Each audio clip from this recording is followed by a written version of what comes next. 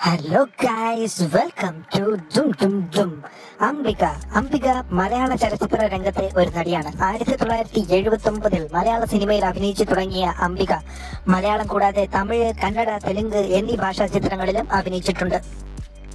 ചോറ്റാനിക്കര അമ്മ എന്ന ചിത്രത്തിൽ ബാലതാരമായാണ് അരങ്ങേറ്റം. വിടരുന്ന മുട്ടുകൾ ഉൾപ്പെടെ ആറ് സിനിമകളിൽ ബാലതാരമായി അഭിനയിച്ചു. സീത എന്ന ചിത്രത്തിലാണ് അംബിക ആദ്യമായി നായികാ വേഷത്തിൽ അഭിനയിക്കുന്നത്. ആയിരത്തി തൊള്ളായിരത്തി എഴുപത്തി എട്ട് മുതൽ ആയിരത്തി തൊള്ളായിരത്തി എൺപത്തി ഒമ്പത് വരെയുള്ള ഒരു ദശാബ്ദത്തിനിടയിൽ ഏറ്റവും തിരക്കുള്ള തെന്നിന്ത്യൻ നായികമാരിൽ ഒരാളായിരുന്നു അംബിക.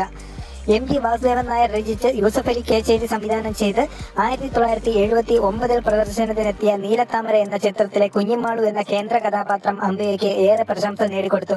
പ്രേംനസീർ മധു വിൻസെന്റ് എം ജി സോമൻ സുകുമാരൻ ജയൻ സത്താർ രവികുമാർ ശങ്കർ രവീന്ദ്രൻ വേണു നാഗവള്ളി നെടുപടി വേണു രതീഷ് മമ്മൂട്ടി മോഹൻലാൽ തുടങ്ങി തന്റെ അഭിനയ ജീവിതത്തിന്റെ വിവിധ കാലഘട്ടത്തിലെ മുൻനിര നടന്മാരോടൊപ്പം നായികയായി അംബിക അഭിനയിച്ചിട്ടുണ്ട്.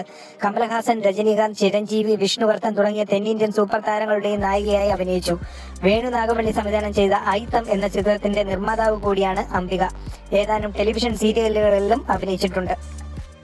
അംബികയുടെ ഇളയ സഹോദരിയായ രാധയും ഒരു പ്രസിദ്ധ നടിയായിരുന്നു. രണ്ടുപേരും ഒരുമിച്ച് പല ദക്ഷിണേന്ത്യൻ ഭാഷകളിലെ ചിത്രങ്ങളിലും അഭിനയിച്ചു. പ്രശസ്തിയുടെ ഉച്ചസ്ഥായിയിൽ നിൽക്കുന്ന സമയത്ത് എ ആർ എസ് സ്റ്റുഡിയോസ് എന്ന പേരിൽ അവർക്ക് ഒരു മൂവി സ്റ്റുഡിയോ സ്വന്തമായി ഉണ്ടായിരുന്നു. രണ്ടായിരത്തി പതിമൂന്നിൽ അവർ എ ആർ എസ് സ്റ്റുഡിയോ ഒരു ഹോട്ടൽ സമുച്ചയമാക്കി മാറ്റി.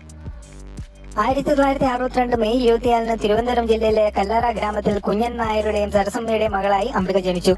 രണ്ടായിരത്തി പതിനാലുകളിൽ മഹിളാ കോൺഗ്രസിന്റെ നേതാവായിരുന്നു അവരുടെ അമ്മ കല്ലറ സരസമ്മ. അംബികയ്ക്ക് രാധ മല്ലിക എന്നിങ്ങനെ രണ്ട് സഹോദരിമാരും അർജുൻ സുരേഷ് എന്നിങ്ങനെ രണ്ട് സഹോദരങ്ങളുമാണ് ഉള്ളത്. ആയിരത്തി തൊള്ളായിരത്തി എൺപത്തി എട്ടിൽ എൻ ആർ ഐ പ്രേംകുമാർ മേനോനെ അംബിക വിവാഹം കഴിച്ചു. അവർക്ക് രണ്ട് ആൺമക്കളുണ്ട്. അവർ അമേരിക്കൻ ഐക്യനാടുകളിൽ സ്ഥിരതാമസമാക്കിയിട്ടുണ്ട്.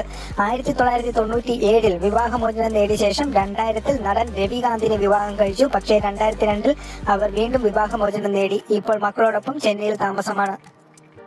വീഡിയോ ഇഷ്ടമായെങ്കിൽ please like share and subscribe the channel